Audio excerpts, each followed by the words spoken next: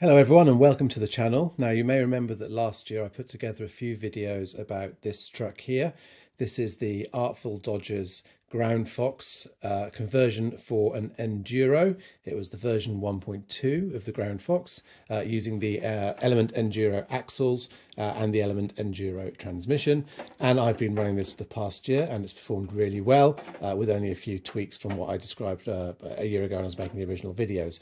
Now, those of you that follow what Artful Dodgers are up to will probably know that there is now a Groundfox version 2 available and, drumroll please, there's one in this box.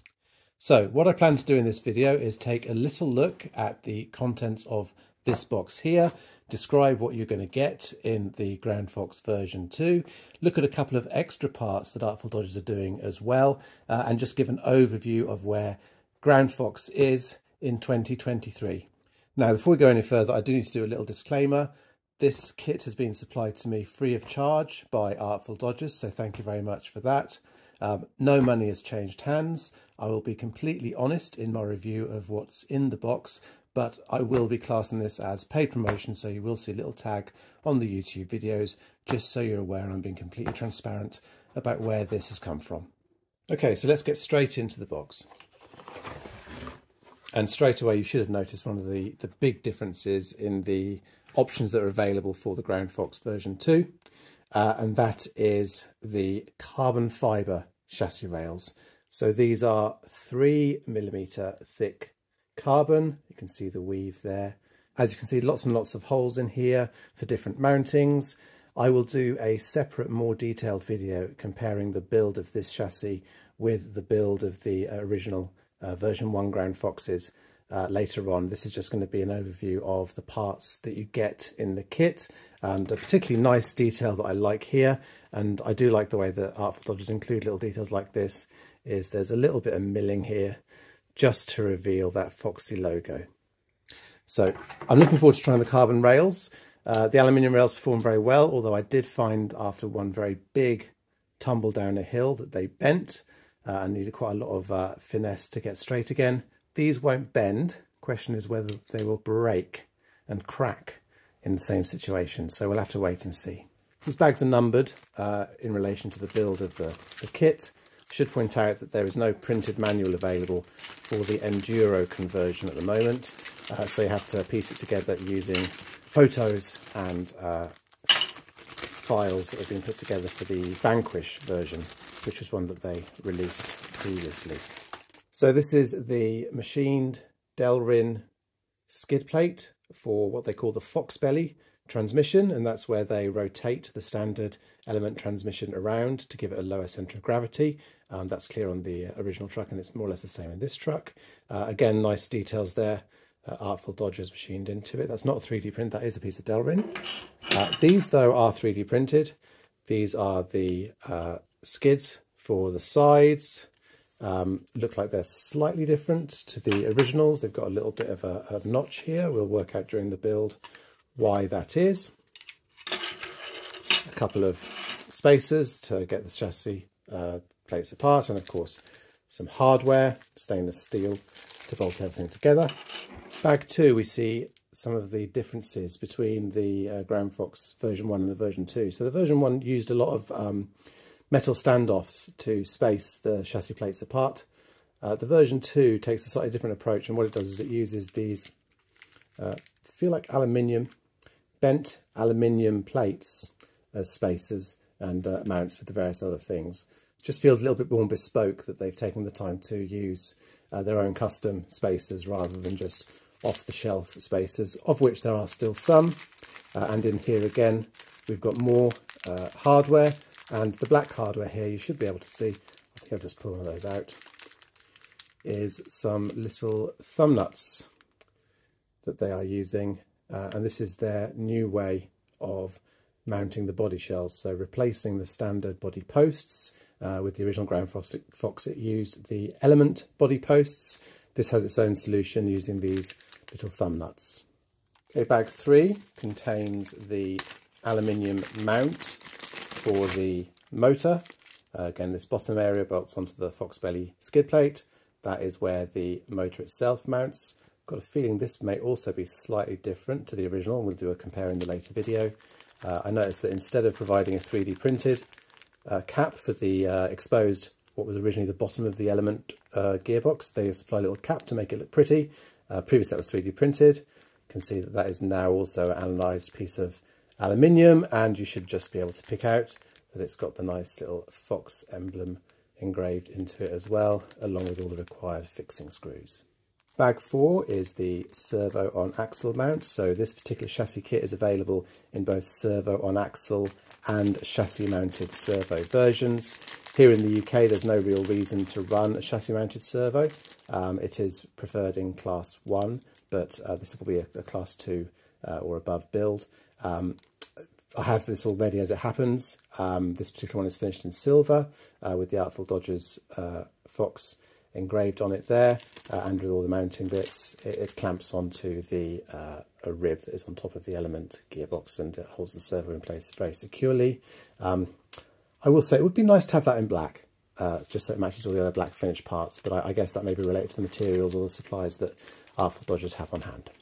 Okay, fifth bag is another example of where Artful Dodgers have decided to move away from 3D printed parts and go for the bent aluminium parts. So this looks like it's a uh, battery mount or an electronics mount that would mount low in the chassis. Um, as I mentioned previously, the uh, Groundfox used it, some very nicely 3D printed mounts for this purpose. Um, it's quite nice to see these sort of more solid pieces in use. We'll see how they go together again in practice, uh, plus of course all the hardware you need to, to fit this in place. Bag 6 has got a few parts in it for mounting a servo. Uh, and in this case, because the steering servo is going to mount on the axle itself, this is an optional winch servo mount. Uh, the main plate here is made of carbon fibre that sits on the side, that's drilled for a standard size servo. They also supply this adapter plate here, which is drilled for a mini sized servo if you're using one of the mini sized servo winches. A bag 7 is another piece that those of you that have seen the Groundfox before will be familiar with. Uh, it's something I believe that Artful Dodgers sells separately as well. These are extended plates for the steering system. So on uh, an Element Enduro, these are normally the uh, parts that attach on the steering hubs, one for the drag link between the two sides and one for the steering link. And this is the one that goes on the other side where the steering link doesn't attach. Uh, what Artful Dodgers have done is they've made a slightly longer version um, it doesn't necessarily give you more lock, but it can give you more clearance. And that's why they also provide these extra little clips here.